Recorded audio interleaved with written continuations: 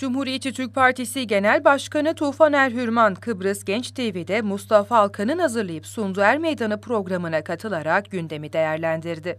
Ülke olarak zor günlerden geçildiğini söyleyen Erhürman, ülkenin yönetilmediğini vurguladı. Ülkede nüfus konusunda bilinmez hale gelen örnekler yaşandığını, sağlık, eğitim ve trafik kazalarının korkunç boyutta olduğuna değindi. Toplumcu Demokrasi Partisi Mali Sekreteri Evrim Hınçal, gitti İstanbul'da N82 kodu gerekçe gösterilerek ülkeye alınmaması üzerine konuşan Erhürman, Türkiye'den hala yanıt gelmemesi üzerine Mecliste İçişleri Bakanı Dursun Oğuz'la konuşmalarını hatırlattı. Erhürman, güvenlik tehdidi gerekçesiyle Türkiye'ye alınmayanlar hakkında ne olacağını sorduğunu, Dursun Oğuz'un Türkiye yetkililerine sorduğunu ve hala cevap alamadığını kaydetti. Erhürman, Oğuz, Türkiye yetkililerine neyi sordu diye sordu.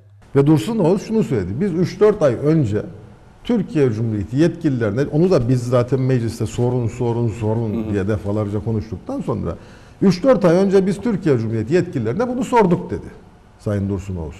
Benim konuşmama cevap olarak. Başbakan Ünal Bey de söyledi bunu. Evet evet ama Dursun Bey de dün meclis kürsüsünden tekrarladı. Şimdi peki siz 4 ay önce, 3 ay önce sordunuz. Neyi sordunuz? Nedir bu insanlar? Niye N82, G82 bilmediğimiz bir takım kod isimler bu kod isimler kapsamında değerlendiriliyor ve tırnak içinde Türkiye Cumhuriyeti açısından güvenlik tehdidi oluşturdukları gerekçesiyle Türkiye'ye giremiyor. Nedir gerekçesi bunun? Çünkü yani bu insanlar Türkiye Cumhuriyeti tarafından bilinmiyor olabilir kim oldukları. Ama senin benim bu memlekette yaşayan herkesin çok yakından tanıdığı insanlardan bahsediyoruz.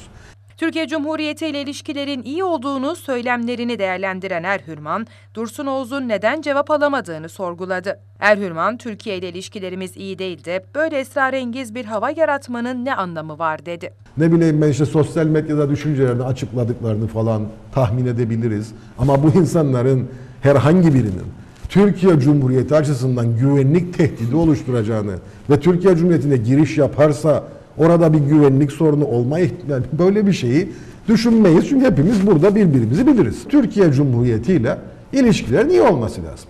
Doğru. Yani bundan farklı bir şey söyleyen yok. Ha biz diyoruz ki doğru zeminde iyi ilişkiler olmalıdır. Şu anda hükümette olanlar açısından doğru zemin, doğru zemin çok da dert değil. Onlar iyi olduğunu söylüyorlar. En iyi döneminde olduğunu falan söylüyorlar Türkiye Cumhuriyeti ile ilişkilerin. Peki ben de soruyorum. Türkiye Cumhuriyeti bizim için herhangi bir devlet değil. Bir kere bunun altını çizelim. Kesinlikle. Peki bizim için herhangi bir devlet olmayan bir devletle ve onun hükümetiyle sizin ilişkileriniz iyi olur da ve sizin tabirinizde muhteşem tarihinin en iyi döneminde falan olur da siz bu konuda sorduğunuz bir soruya 4 ay cevap alamaz mısınız? Nasıl açıklarsınız bunu? Mesele bu.